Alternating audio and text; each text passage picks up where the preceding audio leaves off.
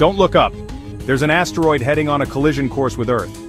There's a newly discovered asteroid, 2024 YR4, and it has a 1 in 83 chance of striking Earth on December 22, 2032.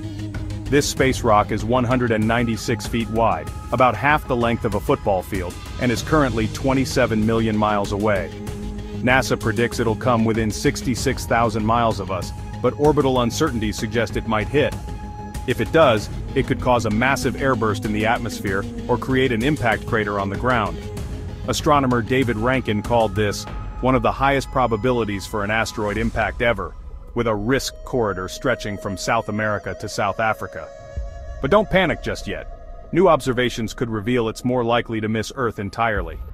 While it's a close call, there's still a lot we don't know about this asteroid. Stay tuned as scientists refine the asteroid's path. Follow for more space exploration.